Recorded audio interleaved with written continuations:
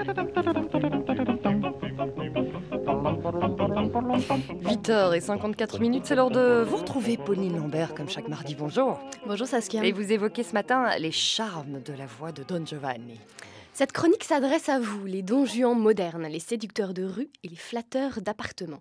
Vos qualités de séduction ne reposent pas sur votre physique, mais bien plutôt sur le charme de votre voix. Vous pouvez donc arrêter tout de suite les pompes et muscler plutôt vos cordes vocales.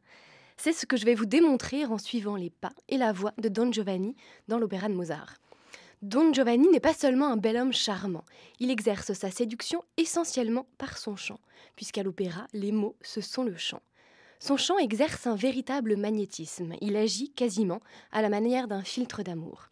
C'est par sa voix seule qu'il charme une de ses conquêtes, une de ses mille et trois conquêtes. Il chante une canzonetta, une petite chanson accompagnée par la mandoline. La mélodie est toute simple, dans un style populaire. Pour s'assurer de sa conquête, Don Juan répète deux fois la même musique, avec une deuxième strophe qui est légèrement enjolivée.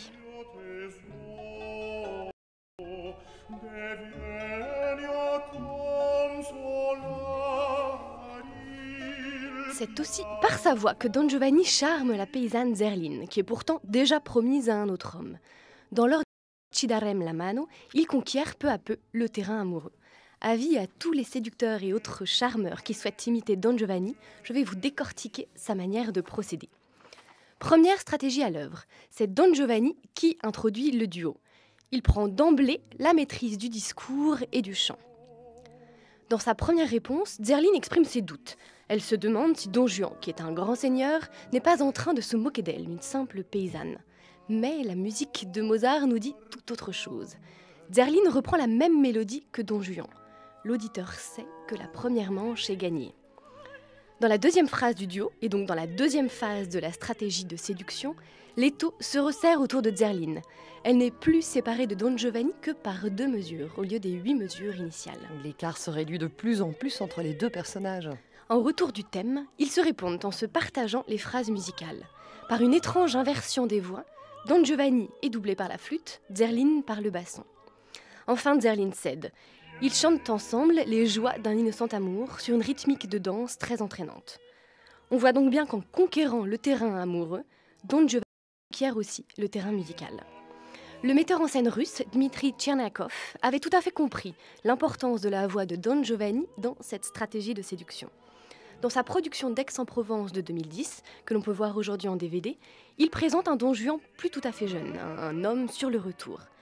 Son charme s'exerce uniquement par le poids des mots et le choc de la voix. Dans ce duo, Don Juan reste immobile.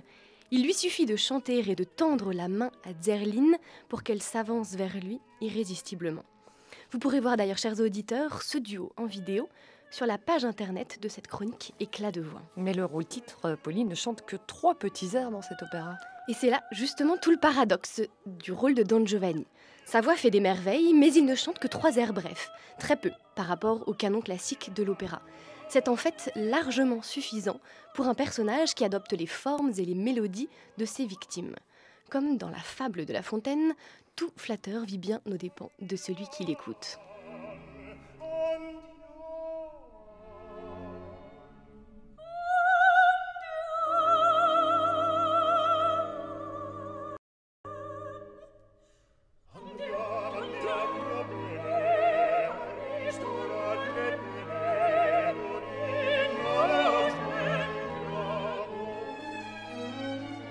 Merci beaucoup, Pauline Lambert. Saskia. Et puis, vous avez une recommandation Absolument. Pour tous ceux qui se sont sentis concernés par cette chronique, bien sûr, vous pouvez écouter et réécouter l'opéra de Mozart, mais aussi lire la bande dessinée Séducteur de rue, qui est apparue dans la collection Sociorama chez Casterman.